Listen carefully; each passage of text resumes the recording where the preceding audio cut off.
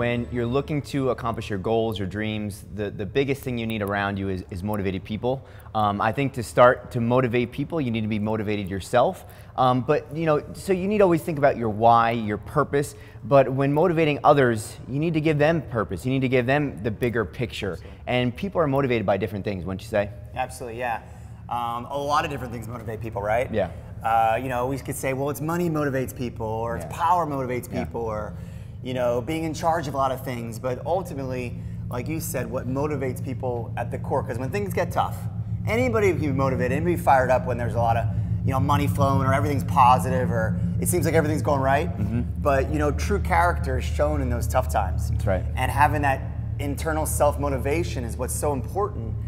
So if you're a leader, if you're someone that's trying to be motivated just by yourself, just to make it through the day or just to run an organization, wherever, anything in between, ultimately motivation comes from within. Yeah. And having those things, those reminders to keep us motivated on a daily basis, Yeah. to push ourselves, Yeah. to push our teams, push our organizations, that's what's important. And, th- and they found that they've done studies and they found that motivation doesn't come from financial rewards.